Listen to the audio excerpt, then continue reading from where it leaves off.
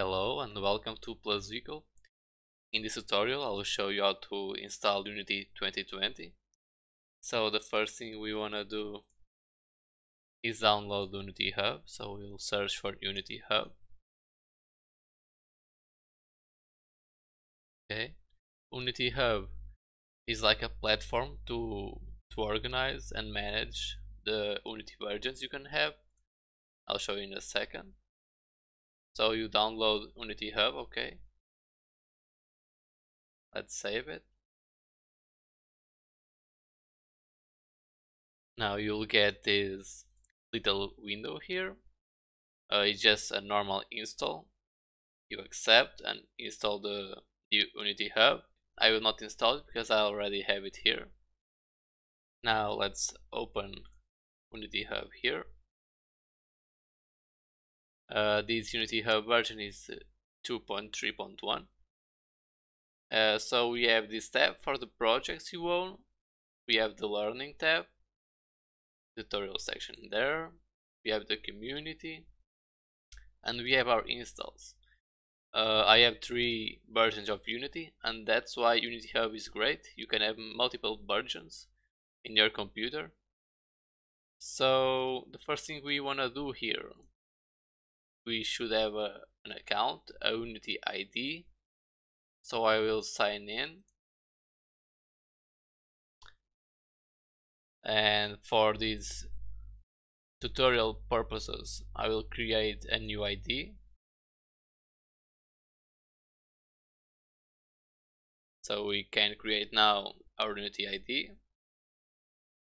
and we will receive a, an email you need to confirm your email in 15 days. So click the link to confirm email.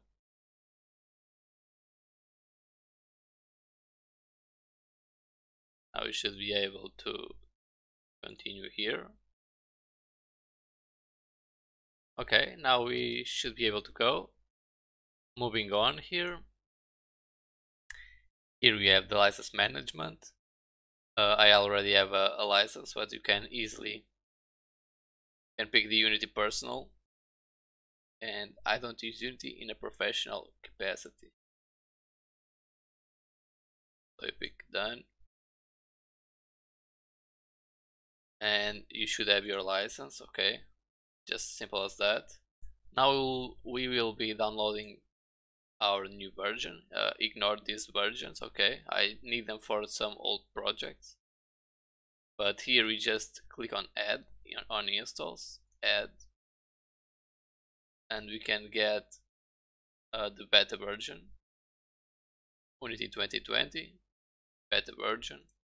Next. We can put Visual Studio in here.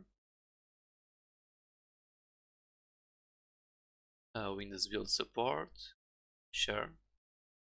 You can load on the documentation if you used to work offline. Okay now that should do it for now. Let's download it. Okay. Now you should have your your unity version downloading. Let's just wait a bit. Okay now you should have your unity version installed okay. Uh, you can add modules anytime. You should have the the visual studio so it's fine. Now we can go to projects. Select your version. If you have multiple versions this is what you'll you'll see here. I'll pick 2020 okay now we can pick uh, our template 3d is fine for now. Maybe adding anything you want I will put testing unity 2020 uh, keep in mind that it's better if you have a folder uh, to keep things organized okay? Let's create this.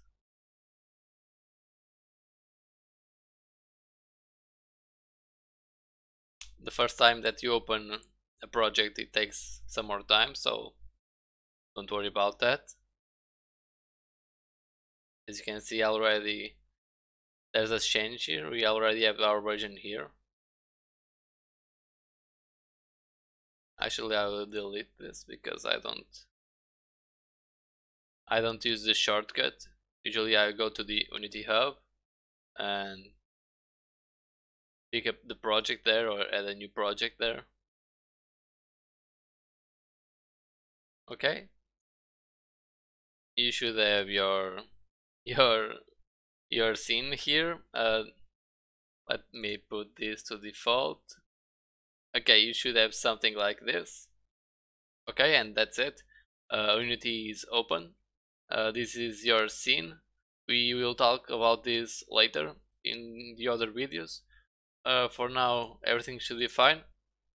In the next video we'll be uh, creating a script and seeing actually if Visual Studio is correctly installed and synchronized with uh, this version of Unity. If you notice uh, any error with your version or something like that, just hit the comments and I will try to, to answer you the most quickly I can. And that's all for, for this lesson, uh, for this tutorial. I'll see you guys in the, the next video. Thank you for watching.